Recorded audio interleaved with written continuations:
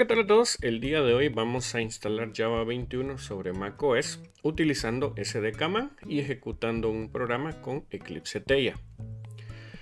Existen diversas formas para instalar Java dentro de macOS, pero en esta ocasión yo voy a utilizar la que a mí me parece la más conveniente, que en este caso es la instalación de SDKman. SDKman, como también lo demostré en el video de Linux, es una herramienta para gestión de herramientas, valga la redundancia, para la Java Virtual Machine. Vemos que la instalación es relativamente simple, basta con ejecutar un script y actualizar las variables de entorno para que el comando SDK esté disponible en nuestro sistema. Entre otras cosas, y lo que a mí me parece bien interesante, es que ofrece distintas versiones de Java de parte de distintos proveedores incluyendo Oracle, Eclipse, Microsoft. Y acá, por ejemplo, yo voy a instalar Java 21 de Eclipse, específicamente Eclipse Temurin. Basta con ejecutar sdk install java y el identificador de la versión que queremos instalar para que esta se vuelva la versión Java por defecto en el sistema. Si necesitan tener más de una versión de Java, SDKman también lo permite en sus usos avanzados, pero en esta ocasión decidí simplificarlo para Java 21. Y una vez que Java 21 está lista, también puedo instalar herramientas dentro del ecosistema de la JVM, específicamente Maven para la gestión del ciclo de vida de mis proyectos. Entonces, en cuestión de cuatro comandos, nosotros dentro de un sistema macOS Sonoma podemos tener Java, Maven, SDKman, y todo esto para gestionar nuestro sistema de desarrollo para la Java Virtual Machine. Vemos entonces que Java está correctamente instalado y también Maven se encuentra correctamente instalado. Ahora bien, lo que nos falta es un IDE y esa es la parte central de este video. En esta ocasión nosotros vamos a revisar Eclipse Teia. Teia, como lo indica en el website que estoy mostrando en pantalla, es una plataforma para creación de IDEs de escritorio e IDES también en la nube, que de hecho está fuertemente patrocinado por Red Hat y como ya notan en los screenshots se basa en VS Code. Yo lo resumiría en pocas palabras como una plataforma para crear IDEs basados en VS Code sin el control de Microsoft. Que, digámoslo así, esto puede ser bueno o malo dependiendo a quién le pregunten. Yo creo que es algo bueno tener alternativas. La instalación es relativamente simple, basta con descargar el DMG, que es un paquete de instalación típico de macOS, y posteriormente arrastramos la aplicación hacia el folder de aplicaciones. Entonces eh, no es muy diferente de otras instalaciones que se hacen en macOS. El primer inconveniente que yo encontré al utilizar Teia, que no es algo que utilice frecuentemente, es que necesita Rosetta. En otras palabras, trae, instrucciones x86 y como en este caso estoy utilizando macOS sobre ARM, me solicitó Rosetta, lo cual va a ser un poco lento, por lo menos las primeras ejecuciones.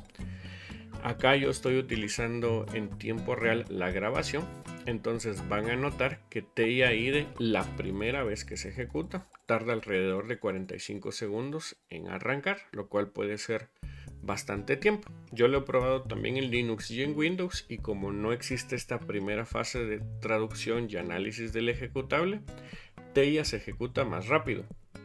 Ahora bien, mientras esto inicia, podemos entonces preguntarnos por qué utilizar TIA y no VS Code y la respuesta es que Número uno, no está bajo el control de Microsoft. Número dos, si ustedes hicieran su propio IDE, de hecho el Arduino IDE también está basado en, el código de VS Code, el, el proyecto open source. Y digámoslo así, es fácil de configurar un entorno de desarrollo Java utilizando TEIA, lo cual vamos a ver en este momento. TEIA acaba de cargar y como ven podría pasar fácilmente por una instalación cualquiera de Visual Studio Code, a excepción del toolbar que se encuentra arriba y que eh, me hace bastante hincapié en que lo que busca hacer es un ecosistema. De hecho tiene su propio marketplace y Eclipse maneja un marketplace que es compatible tanto con Teia así como con Codium, que es otra versión de software libre que tiene VS Code. Directamente, si nosotros buscamos la extensión de Java, vamos a darnos cuenta que no está disponible y eso es por una razón. TIA IDE ya tiene soporte a aplicaciones Java por defecto, entonces sin instalar ningún otro complemento, yo podría fácilmente arrancar un proyecto. Aquí vemos que yo puedo lanzar una terminal, solo voy a verificar que la instalación de Java y Maven se encuentren correctamente. Y vemos que pues vamos a tener Java 21, así que todo está listo para empezar a trabajar. Noten que abrí el panel de proyectos e inmediatamente se me ofrece crear un proyecto en Java y los starters ya están precargados dentro de Teia. Entonces yo podría, sin instalar ningún otro complemento, eh, buscarlo a mano, porque realmente sí se tiene que instalar. Nosotros vemos eso ahora. Yo ya puedo lanzar aplicaciones, directa, eh, creación de aplicaciones directamente desde el IDE. Eh, esto es otro inconveniente que encontré. Yo puedo instalar el complemento, pero no hay una retroalimentación visual que me diga que el complemento ya está listo, ¿no? Supongo que con redes de internet ultra rápidas esto no es problema, pero eh, como ven acá, traté de capturar toda la experiencia tal y como me sucedió a mí. Eh, yo no tuve una retroalimentación visual de que el complemento ya estaba listo. ¿Qué es lo que me queda? El clásico reiniciar y esperar que todo haya funcionado correctamente. Entonces cerramos TIA y vamos a notar que en esta segunda ejecución, una vez que Rosetta ya está instalado correctamente, TIA va a tardar un poco menos en cargar. Entonces vemos que ahora sí arrancó rápido, está cargando todos los complementos y nosotros deberíamos de tener ya listo el entorno de desarrollo Java para la extensión que yo seleccioné que es Quarkus porque lo que deseo demostrar es el desarrollo de un microservicio. El complemento de Quarkus yo lo consideraría un complemento de primer nivel. De nuevo, porque Teia es un proyecto patrocinado por Red Hat, entonces eh, de hecho los Red Hat Code Ready Spaces están basados en Teia. Y si creamos ahora sí el proyecto en Java utilizando el starter de Quarkus, vamos a ver que se nos presenta un asistente.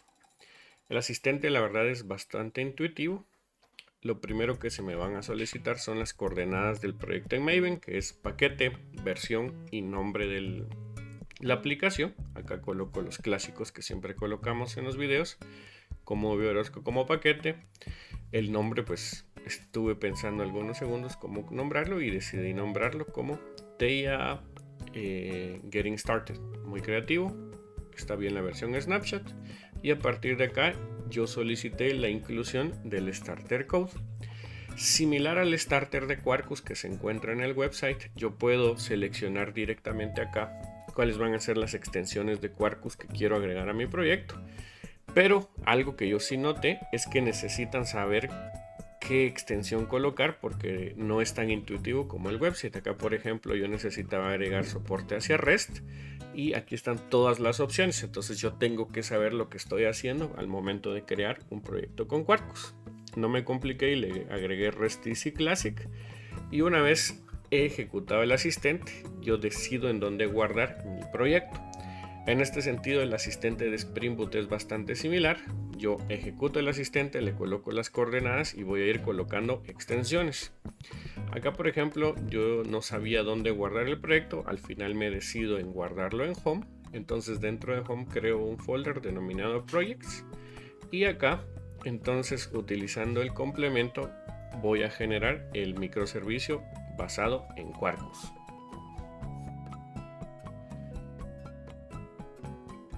Entonces, para los que no están muy familiarizados con Quarkus, Quarkus es un toolkit de desarrollo de Red Hat para la creación de microservicios con Java. Se ha hecho bastante popular por su relativa velocidad al momento de arrancar los microservicios, soporte al Graal VM y bajo consumo de memoria.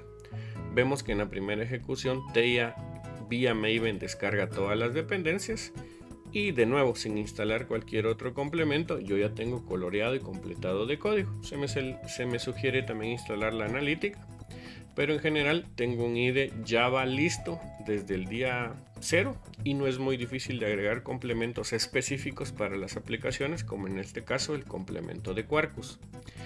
La interacción con el proyecto sinceramente es bastante similar a lo que vemos en VS Code. Observamos los paneles específicos para la gestión de proyecto Java, el README, así como las fases de ejecución de Maven. Acá por ejemplo yo voy a ejecutar package, lo cual haría por ejemplo en la línea de comandos, pero directamente desde el IDE puedo invocar cualquier goal de Maven.